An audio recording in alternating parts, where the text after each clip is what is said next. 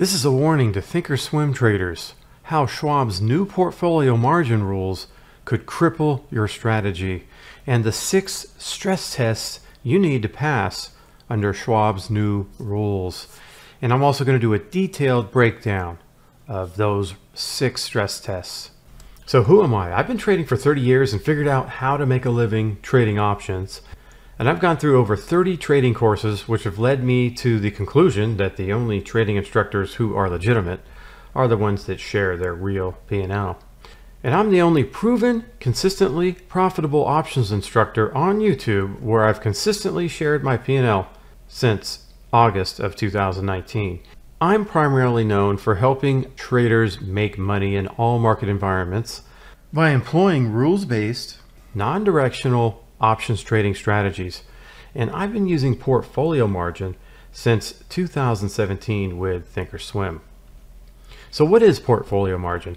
It's a risk-based margin policy that offers investors lower margin requirements by evaluating the overall risk of the portfolio instead of applying fixed percentage requirements to individual positions. Used properly, margin is one of the most valuable tools in a trader's arsenal and can actually be used to decrease risk in your portfolio. And you can see here, if you compare Reg T margin with portfolio margin, Reg T is the traditionally used one, and it's leverage usually two to one. As far as being approved, it's pretty easy. Just fill out an application basically, and it's more static. Okay, so it doesn't change much after the position's put on, except with negative options, that's one exception. But with portfolio margin, it accounts for risk obviously more comprehensively, and it's used for trading non-futures products like SPX, options on SPX, that's what I trade. And the leverage uh, depends, but it can be up to about six to one, right, versus two to one. As far as acquiring it, it's uh, more difficult to get it's not just as easy as filling out an application. And one of the things is it's totally dynamic. After a position's on, it's constantly changing every minute the market's open. So one thing you have to look out for with portfolio margin is that it can expand rapidly. In other words, it can your margin can increase very quickly. So how do traders qualify for portfolio margin at Schwab or Thinkorswim? It's available to qualified Schwab clients who currently have a margin account, so that's first, and then you meet the following requirements. You got to have $125,000 in equity in the account. You need to have full options trading approval and you must achieve a score of 80% or better on an options test that they give you. And if approved, the account's total net liquidation value must remain above $100,000. So why use portfolio margin? So why I use portfolio margin, I run a couple strategies with the Premier Level 5 strategy and the Duck strategy, one of my newer strategies. And I use it for two reasons. Early management high return optimization, and also I use it with profit stacking. So what is early management high return optimization? With Reg T margin, you typically have your full risk at expiration. So your buying power is the amount of money you can trade with. So once you put on, typically with Reg T, once you put on a position, you're pretty much using almost all the margin that you can use, except if you have naked options, of course. And the worst case scenario is if you enter the trade, the amount of your buying power is reduced by the total loss that you can face if you held the position all the way until it expires. Now with portfolio margin, they use a different risk calculators and they don't use the same calculators as Reg T allowing for potential higher returns on your investment and buying power. So lower buying power reduction. So another thing you get with portfolio margin is a lower buying power reduction. So when trading with portfolio margin, you need less buying power to enter a trade compared to Reg T. So you have the ability to get a greater return on capital for the same level of risk. So you can achieve a higher return on your investment if you manage your trade before expiration. So on this hypothetical example, with regular margin, you can see here your buying power, you could use about $21,500 in order to get this profit target of a thousand. So your goal is to make a thousand dollars. And if you use $21,500 to make that thousand dollars, you're going to make only about 4.65% return. If you're using portfolio margin trying to get to that $1,000, you might only use, for example, $2,800 in buying power, and that's a 35.71% return. So you can see how that leverage really comes in handy. You can really increase your returns. And again, it, it has to do with taking profits early, not holding all the way till expiration. So your risk does not really increase. Also, the second reason is profit stacking. So what is profit stacking? This is the second reason I use portfolio margin. You can effectively use your buying power to double dip and you can trade an efficient option structure on top of uh, going long other assets such as bonds or stocks. So for example, if I had $100,000 in capital, I could buy $100,000 worth of treasury bonds, making 4 to 5%, and still have around $99,000 to trade options. So that's like having $100,000 in the account and trading with $200,000. So the term I use to describe this double dipping is profit stacking. So it's almost like having two separate accounts, right? So if you start here at the top of the $100,000, but hypothetically you have account number one, like $100,000 to trade bonds, and then hypothetically you have account number two, $99,000 to trade options. So you're really trading with around $199,000. So that's profit stacking. That's the second advantage of portfolio margin. Use portfolio margin wisely. So is this risky? Well, trading and investing can be risky, as you know, but if you don't have an all-encompassing plan that accounts for worst case scenarios, you know, that could be an issue. So many people are unaware that by effectively utilizing portfolio margin, it's possible to manage strategies that are significantly more efficient than those that are available or achievable with Reg T margin. In fact, there are specific types of trades that are entirely unfeasible with Reg T margin, but can be successfully executed using portfolio margin, like the uh, Premier Level 5 that I trade and the uh, duck trade. So why is it important to understand portfolio margin requirements stress test? Well, it's to avoid margin calls.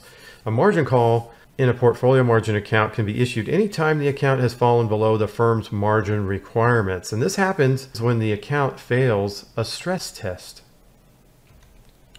Why do you want to avoid margin calls? So first, force liquidation.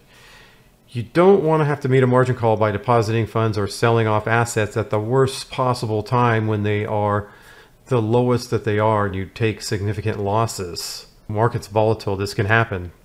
You're at your lowest point with P&L and then you're forced to liquidate. Also, there's another reason, substantial financial losses. Again, I talked about forced liquidation. If you're forced to sell during market downturns, that's the worst part. You're locking in large losses.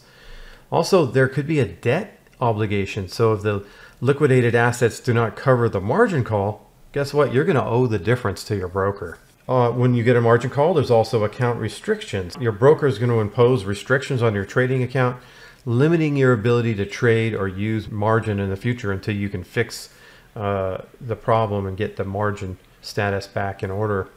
Also, it could have an impact on your credit score. Uh, if you have unpaid debt to your broker, uh, that's going to ding your credit score. So you have to be careful. Don't you don't want to get margin called. There's also psychological stress. I mean, the financial strain and uncertainty associated with a margin call can cause significant stress and anxiety, affecting your overall well-being and decision-making ability. And also, there are possible legal uh, consequences. In extreme cases, unresolved debt with your broker could lead to legal actions. So, further complicating your financial situation. You don't want to get into a situation where you're getting a margin call. What can you do? If you get a margin call from Schwab, here's what you can do to meet the requirements. So a trader can deposit cash or marginable securities. You can close existing positions to reduce the overall margin requirements, or you can open trades that would create cash or reduce margin requirements. And margin calls may have up to two days to be met, or they may be due immediately based on market conditions. So Schwab portfolio margin has six stress tests. So I met with the Schwab portfolio margin team uh, multiple times, and I learned that there are six different stress tests that determine a margin call. And each stress test is determined on an individual basis. And there is one stress test that accounts for a majority of the margin calls. So it is the most strict stress test. And I'll go over that one, of course, with the other five. So margin call stress test. There are six ways to get margin calls based on the Schwab requirements. Now, these are not in any certain order, and the names of these tests are the names that I gave them. I mean, they're pretty similar to the real names of the tests, but the real names of them can be a little bit confusing for me. So number one, net liquidation value. Number two, the total Vega test. Number three, the short options net short units test. Number four, the $5 million test. Number five, the cash to net liquidation test. And number six, the SPX or the beta weighted test. Remember, if your account fails a stress test, one of these six stress tests, a margin call will be issued. And it's a margin call again is a notification from your broker informing you that your account equity doesn't meet the necessary requirements while trading with borrowed funds. So next I'm going to get into each individual stress test with examples. And again, they're not in any particular order.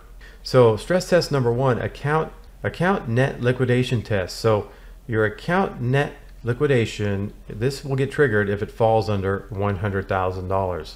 Let me show you an example. Okay, stress test number one, it's again not in any particular order. Account net liquidation goes below $100,000. You can see here, this account right here is worth $305,000. It's a portfolio margin account. If this net lick right here goes below 100,000, uh, I will get a margin call. And example, uh, if I were to buy, oh, say I buy some of those. Let's say I was going to buy a hundred of those. Let's, let's analyze this. If I were going to buy a hundred of these, it would cost me, let's see what it would cost I hit this confirm and send here, $362,000. So let's say I'll buy less of those. Let's say I'm going to buy $303,000 worth of these and I own these puts and the market goes up. And these puts start to go down in value. And let's say that the market goes up and they go down in value. So if I start with 305,000 approximately, and I'm down, let's call it 252,000. It's 252. Well, at that time, I would only have $53,000 on my account. I would have less than $100,000 net liquidation. And at that point, I would get a margin call. That would be stress test number one. Stress test number two, it's the total Vega test. So if the total negative Vega of the portfolio is larger than 12.5% of the account value or net liquidation, then you can get a margin call. I'm going to give an example. So if the account value is $100,000, then the total negative Vega cannot exceed, let's run the number there, 100,000 times 0.125, $12,500, which means that the total negative Vega cannot be higher than minus $12,500. And here is an example of that. Okay, an example of stress test number two would be the total Vega test. And that would be that the Vega in my portfolio is too high, right? So they look at my account value, which is like 305,000. Okay. So let's call it 305,000, 580, and multiply that times 0.125 Okay, so I have this 38,000, let's call it 200, right? That's the number my negative Vega can't go over. If you looked at my portfolio, let's say for example, that I were to go short the December 25th uh, 1200 put. That's for going for about 260. Well, you can see here in my slice here, this current price, and then you can see the vega of that particular position is minus 4,500. So let's say that I do short 300 of these, for example. Let's see what my vega would be. Minus 13,000. So I'm I'm still good. Remember, because I my Vega can't be can't be lower than 38,197 based on 12.5% of what my account value is. So uh, I can put that position on based on the Vega, the total Vega test. Um, you can see over here my margin requirement wouldn't allow me to uh, to put it on, but that's I'm not talking about you know that. I'm talking just just the Vega test. Let's say I do this a thousand of these. What's my Vega? I'm going to the zero slice, looking at the Vega. See my Vega right here? Minus 45,974. Do you see that's more than 12.5% of my account value? That would fail the total Vega test right there. That would cause a margin call based on the stress test that I have number two here, the total Vega test. So that's one way you could get margin called. Stress test number three, short options net test. For SPX, it's minus 1,000 per unit or net unit, right? Net short option. And if higher than the net liquidation, if that number is higher than net liquidation, then the margin call is issued. Uh, for volatility products, it's minus $500 per option, and equity options, it's minus $200 per net short option. For example, you have a $100,000 account with SPX options in the portfolio, and the net short options are 101 in count, like you have 101 short options. Then 101 times 1,000 equals 101,000, and that's more than the net liquidation of a $100,000 account. So here's an example of that. Okay, let's talk about what I have labeled here stress test number three, which is the short options tests. It's actually the short net options test. So I want to make that clear. If you have long options in the portfolio, they can counteract the short. So let's say, let's make this 100 here. Let's say that this is my portfolio this is my total portfolio, these two here. I'm net short 900, okay? Net short 900. I'm not short a 1,000. I'm short 900 uh, puts at this rate, or just short 900 options. Could be puts or calls. Now, again, I'm just going to talk about SPX.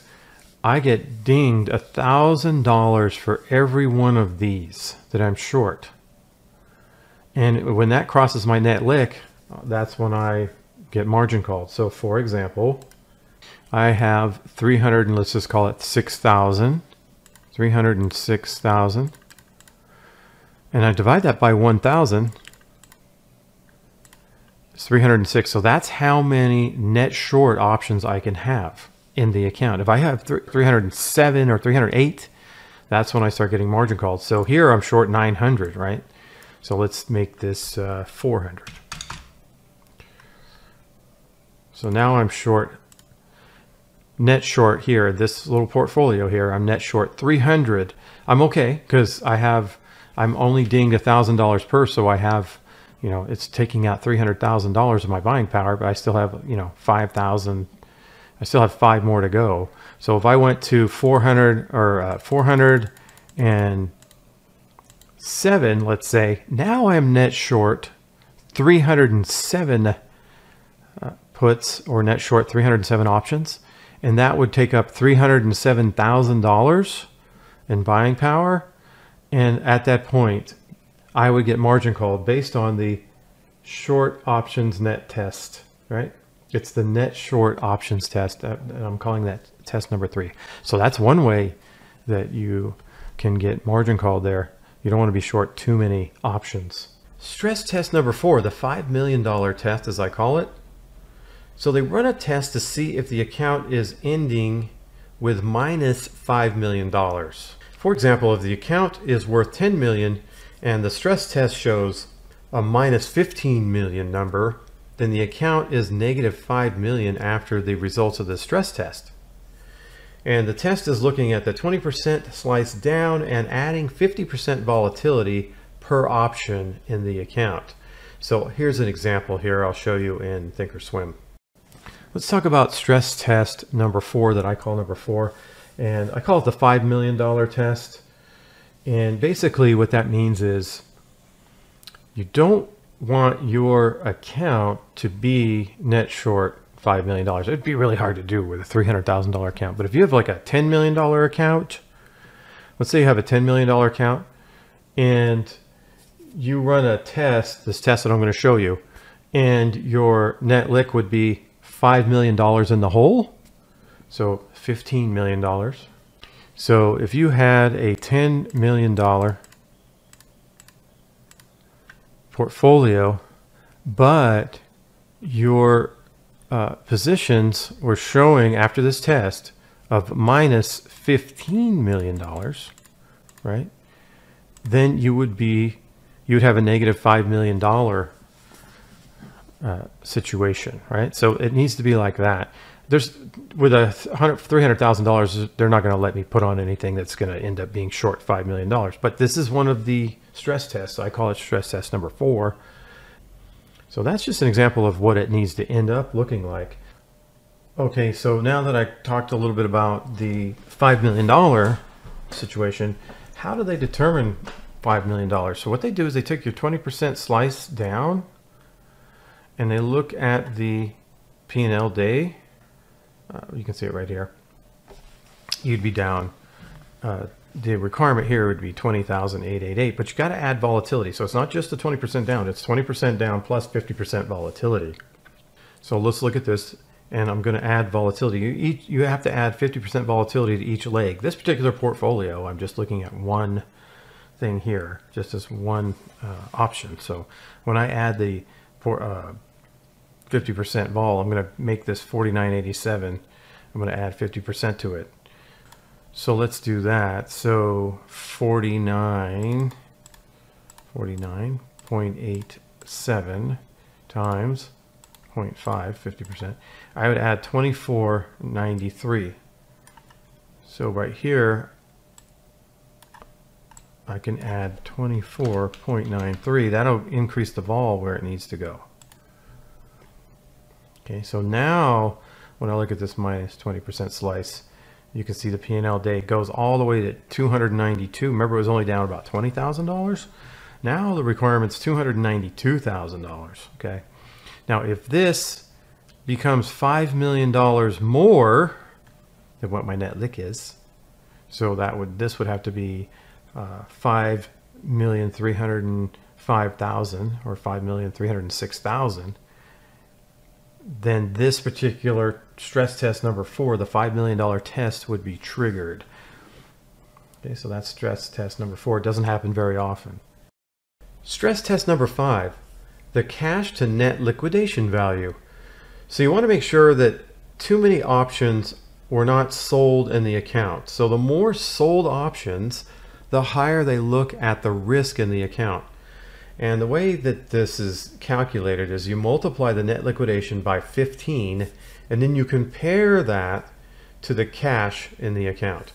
So if the account, and now also you need to know, in the account there's two balances. There's the net liquidation balance and the cash balance. So for example, if the net liquidation balance is 100,000, then the cash balance needs to be less than that 100,000 times 15 or 1.5 million dollars. So here's an example in the thinkorswim platform. Okay, stress test number five would be cash to net liquidation value. So we're going to look at the net liquidation and they want to find out, well, what is this number right here times 15? That's the first thing you do.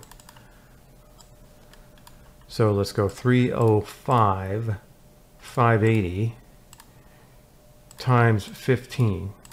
So now I have this, you know, this number of 4,583,000. So this is the number they're going to be looking at if something gets over that. What needs to go over that? Well, this cash balance right here, this cash balance, it's only 41,000 because I'm using some of it. But if that cash balance gets above 4.5 million or 4.6 million approximately, that's when they're going to say, wait a minute here, we're going to margin call you know. Well, how would that happen? I could sell a bunch of options and collect a lot of premium And so I would be, I'd be collecting so much premium. Uh, let's say, for example, let's say that I were to sell something a little more expensive here and see how much premium I'd collect if I sold this. 350,000. Okay. So, um, for every 100 shares. But again, I got to get over that 4.58, you know, I've got to collect a lot. Let's try like 1500.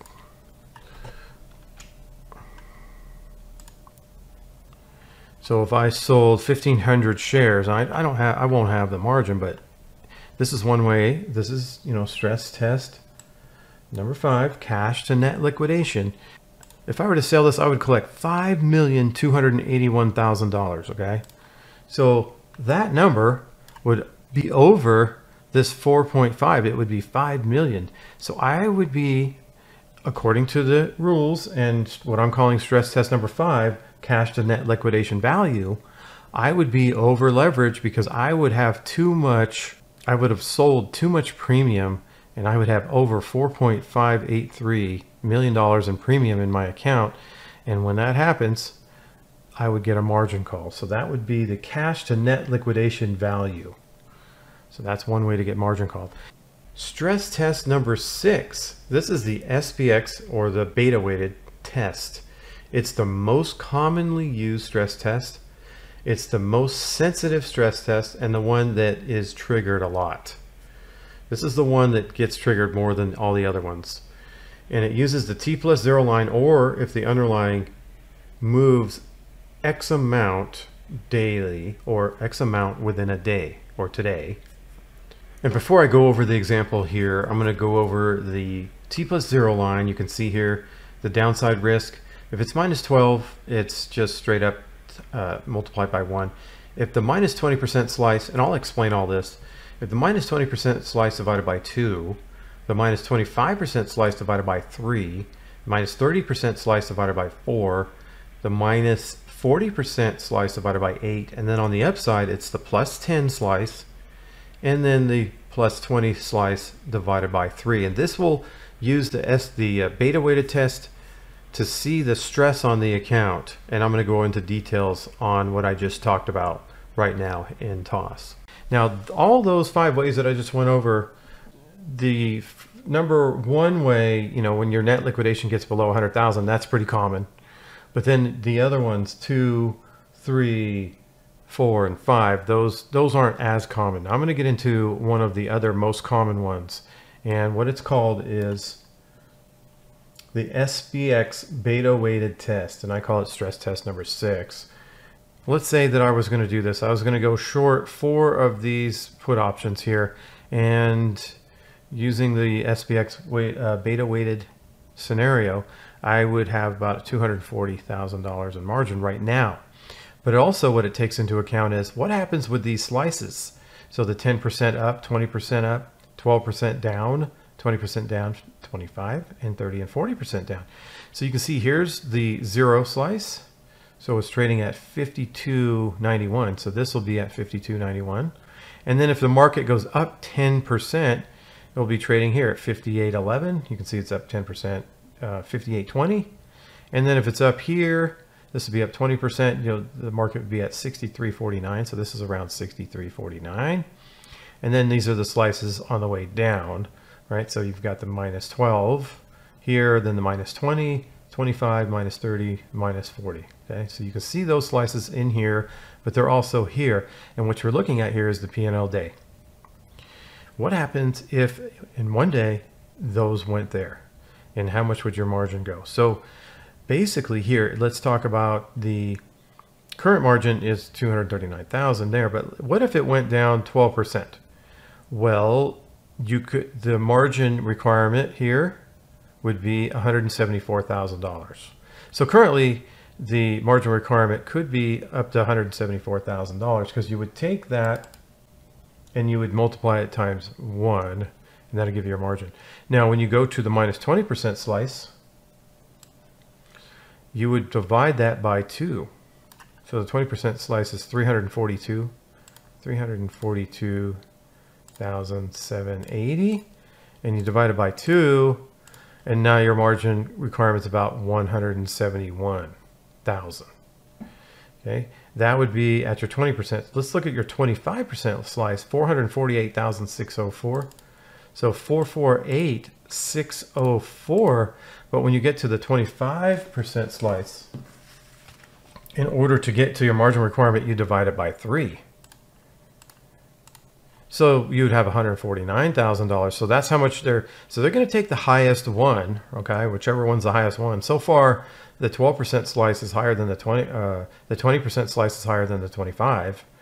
And let's look at the 30% slice, which is, uh, if, you know, if the market went down 30% one day, they say you'd be down 554, 432, 554, 432, but you divide that one divided by four, so 138,000 is what they're keeping over here. So that wouldn't be the one that's highest. And let's look at the one, let's say that you were at 40% down. So when they do 40% down, 766088, 766088, this one you divide by 8 and it's 95,000. So this one has less of a requirement than the 30% slice and the 25% slice. Now let's look at the positive uh, uh, slices in a little more detail. So you can see here, these are actually positive, so they have the minimum margin, but I'm gonna go ahead and make, let's make this uh, portfolio to where these numbers would be negative. So maybe if I buy that. Okay, so you can see here, this one is a negative 10,000. This one's negative 10,000 also. So the way the positive 10% slice, that's a multiplier of one. So that's 10,450 right now. Therefore, that would be the margin requirement. Now on the plus 20%, it's a little different. It is divided by three. So on the plus 20% slice, it's what, 10,000, let's call it 440 right now and you divide that by three so that would be a $3,480 so this one's a divided by three much like the 25% slice on the downside is divided by three the plus 20% slice is divided by three. If it's negative. If it's positive I'll get into that next. Now if it's positive it's not going to require uh, it'll be the minimum margin okay? So minimum margin is uh, how many contracts do you have times 37.5. So this would be not very much margin at all, times 37.5. So $150 a margin. So I wouldn't use any margin hardly at all on the upside. Except for how much you paid for it, of course. You're going to pay that margin, but it's not margin won't expand on you in that case. So you don't have to worry about a margin call when you pay for something. So that's how they calculate the beta weighted, SPX beta weighted. And this is the one, this SPX beta weighted, this is the one that catches the most people where you get, because if you have some type of trade where, you know, your downside just falls off a cliff, you could get margin call based on the 40% slice, right? So you have this thing that, you know, goes crazy, you know, just drops off a cliff like this that 40% slice could catch you. Those are the six stress tests you want to make sure that you can pass in order to not get margin called with the new Schwab requirements. In parting here, I just wanted to emphasize this is not financial advice. It's for educational purposes only. And I want to emphasize that I'm not providing financial advice and encourage you to perform your own research and consult your broker for personalized guidance on this topic.